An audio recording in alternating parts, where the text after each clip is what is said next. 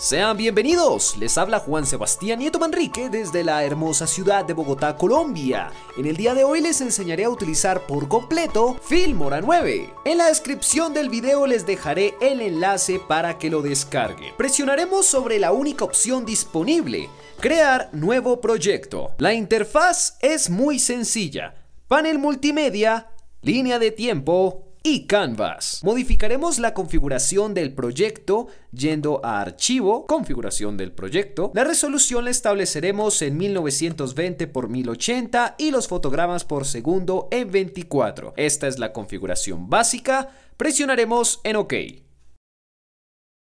Importaremos contenido presionando sobre este icono. Dos opciones, importar archivos multimedia independientes e importar una carpeta. Seleccionaremos la primera. Trabajaré por el momento con este video, una toma con dron, así que doble clic. Puede que les aparezca esta ventana aconsejando crear un archivo proxy, es decir, una copia de baja calidad que permitirá editar fluidamente. Por el momento la cerraremos.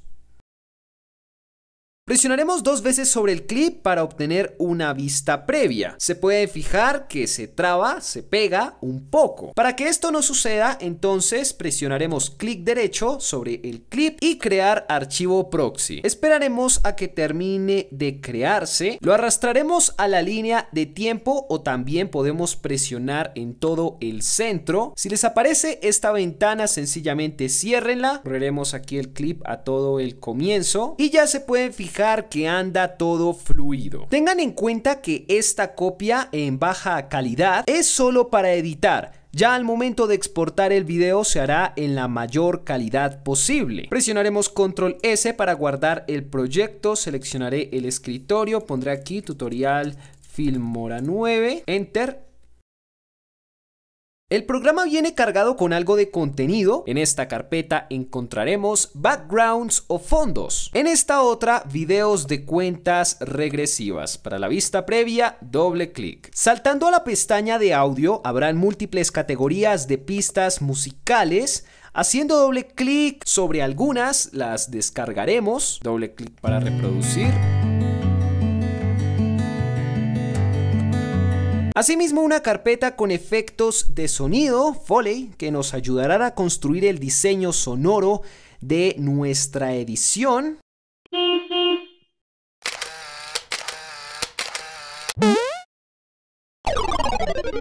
Nos iremos aquí con todo y vamos a encontrar la pista que vaya mejor con la situación.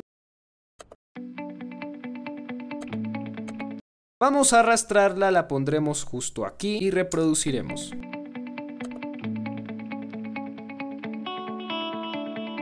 Importaremos un video más, eh, el cual arrastraremos directamente aquí a la línea de tiempo. Nos aparecerá de nuevo esta ventana, vamos a chulear, no mostrar este mensaje nuevamente y le daremos que sí. Y esperaremos a que nos cree la copia de baja calidad. Lo he puesto aquí, he dividido todo esto, así que mejor lo voy a poner al final. Este lo vuelvo a pegar aquí, la música también.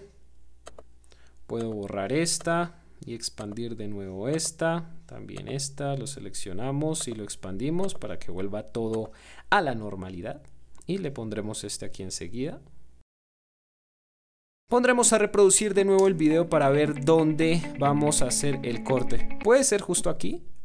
Nos podemos desplazar con las flechas izquierda y derecha para coincidir en la posición. Seleccionando el clip presionaremos sobre este icono para cortar. Otra forma de hacerlo es, presionaremos aquí control Z, presionando control B. Y ahí se va a separar. Así que vamos a correr este sobrante para aquí atrás y este lo pondremos aquí pegadito y vamos a ver qué hemos obtenido.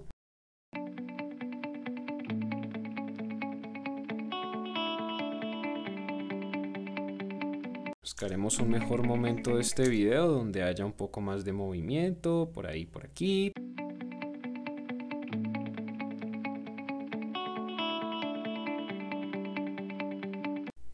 Recortaremos el final de este clip y pondremos este enseguida, pero un poco más adelante. Eso que no vaya a quedar registrado el movimiento del dron.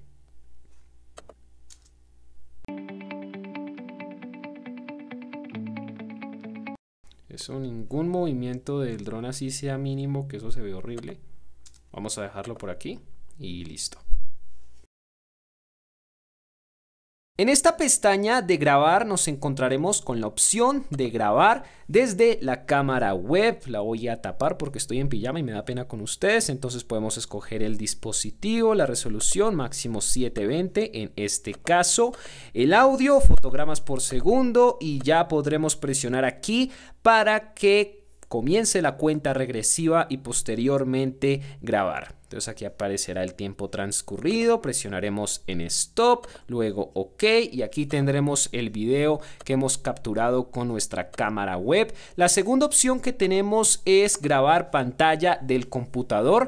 Entonces aparecerá esta pequeña ventanita, audio externo, audio interno y aquí un panel de configuración, ubicación de la captura, calidad, el mejor y otras opciones. Cerraremos esto.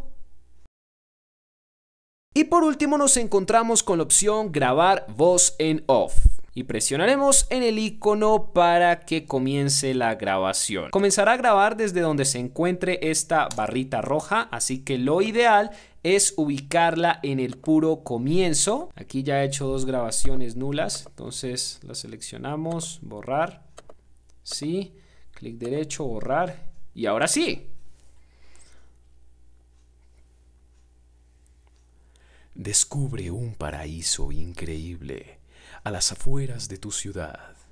Edita con Filmora 9, haz que tus sueños se vuelvan realidad. Presionaremos aquí para pausar. Y tenemos aquí esto. Descubre un paraíso increíble a las afueras de tu ciudad. Bueno, como estoy trabajando con el micrófono interno del computador, pues escucha una porquería. Disminuiremos el volumen de la pista musical, así que la seleccionaremos, presionaremos en este icono y disminuiremos esto por ahí a menos 18 o bueno, menos 12 tampoco. A las afueras de tu ciudad. Edita con Filmora 9, haz que tus sueños se vuelvan realidad. Bueno, solo era para hacer el ejemplo, así que vamos a seleccionar, vamos a borrar. También podemos acceder rápidamente a una voz en off presionando en este icono. Si ponemos aquí el cursor sobre esta barrita, vamos a poder manipular el volumen directamente desde aquí. Moveremos la pista a audio 1, lo correremos todo por aquí al comienzo. Vamos a cortar la pista que llegue hasta aquí. Control B entonces. Seleccionamos el restante y para la canequita. Ampliaremos la vista de la línea de tiempo. Podemos disminuir esto aquí para obtener una mejor vista, que no se vea todo tan gigante. Añadiremos un título, así que saltaremos a esta pestaña. Plantillas de apertura animadas, doble clic sobre cada una igualmente para obtener la vista previa. Vamos a seleccionar esta, así que estando en el puro comienzo presionaremos en el más, pondremos a reproducir de nuevo el video. Vamos a quitarle el fondo, así que manteniéndola seleccionada presionaremos en este icono de ajustes. Avanzado, seleccionaremos esto que pone preset de video y eliminar. Cerraremos esta ventanita, presionaremos que sí. Y para modificar el texto, entonces doble clic. Podemos modificarlo desde aquí o también desde aquí y modificaremos este texto de abajo también. Lo seleccionaremos todo y cambiaremos la fuente. Entonces aquí tenemos diferentes opciones. Nos quedaremos con esta, pero mejor entonces lo pondremos en minúscula. Seleccionaremos todo de nuevo. Si bajamos más, tenemos eh, la opción de espacio de texto. Está en 5. Vamos a dejarlo en 0. Presionaremos en OK. Reproduciremos de nuevo. Y aquí cuando cambie de imagen, ya ese título no tiene que estar ahí. Entonces vamos a recortarlo. Recortaremos este video un poquito más.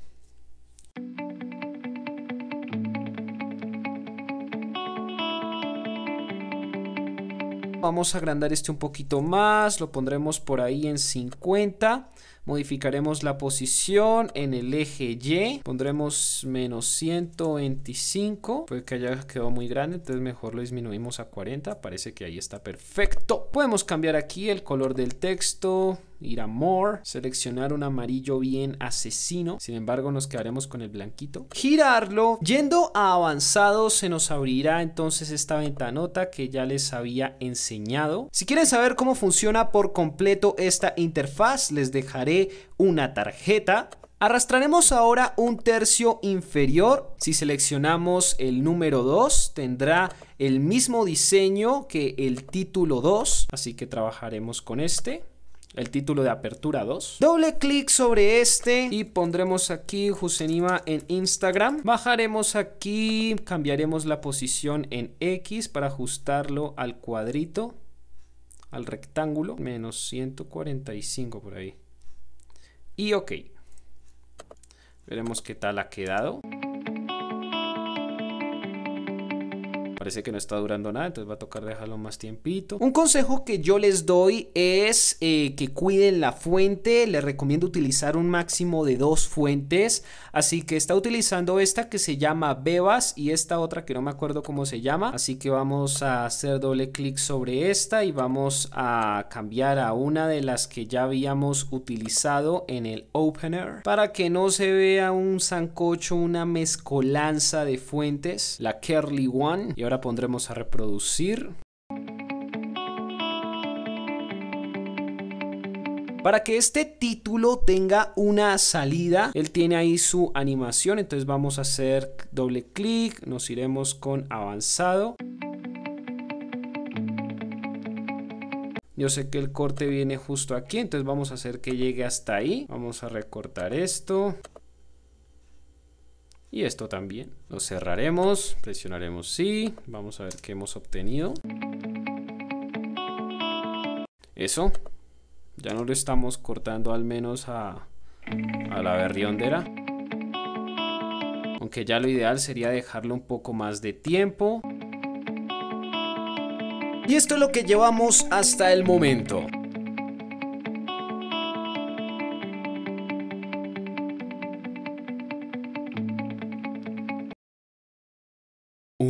Lleno de experiencias increíbles te espera del otro lado del charco.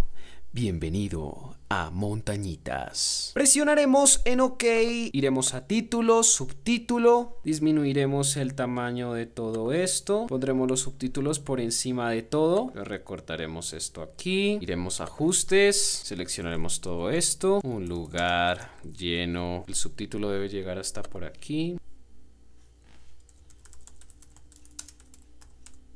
Un lugar lleno de experiencias increíbles.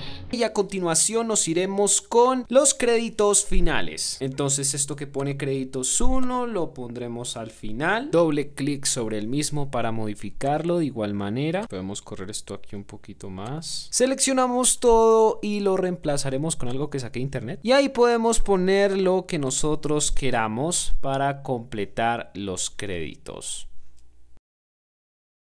En la pestaña de transiciones tenemos bastantes. Vamos a probar esta que pone giro de globo. La pondremos justo en esta intersección y reproduciremos. Eso quedó muy raro. Pondremos aquí otra. Podemos trabajar mejor con la de disolver, que es la más básica. Y ajustar el tiempo. Podemos dejar la pista hasta aquí y correr esto para que se vaya bajando el volumen. En la pestaña de efectos nos encontraremos con filtros y capas, movimiento para simular un terremoto, por ejemplo, diferentes filtros de color, vamos a ponérsela a este por ejemplo,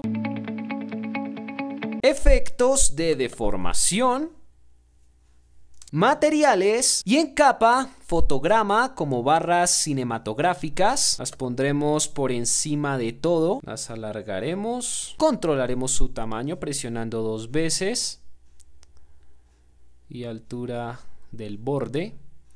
Lo pondremos en menos 50 y ok. Efectos de luces, efecto viewfinder, entre muchos otros. Y en la última pestaña de elementos animados separados por categoría, por ejemplo este de campamento, eliminaremos este tercio inferior. Manteniéndolo seleccionado, presionaremos en este icono, transformar, disminuiremos la escala, por ahí a 35. Flechas animadas para tutoriales, animación de algunos iconos, animaciones de cosas relacionadas con mascotas, emojis,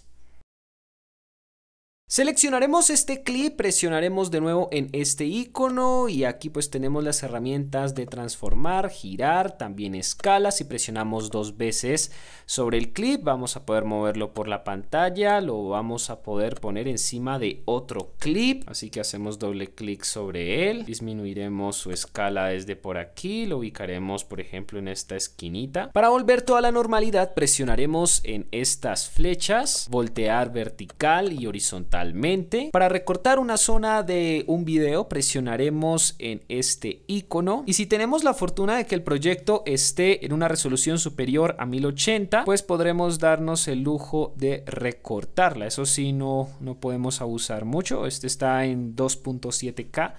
Presionaremos en OK y esto es lo que hemos conseguido.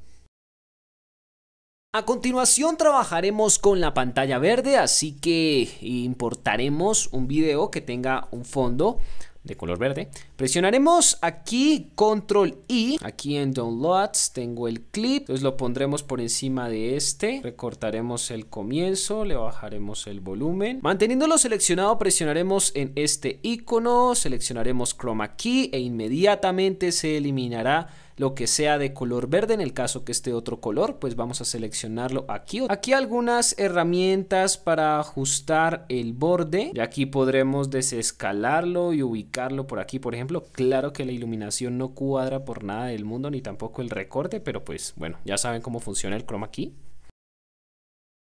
A continuación importaremos un clip que tenga distorsión en la imagen para intentar corregirlo con una herramienta. Seleccionaremos este por ejemplo, presionaremos Open, esperaremos a que se cree el archivo proxy.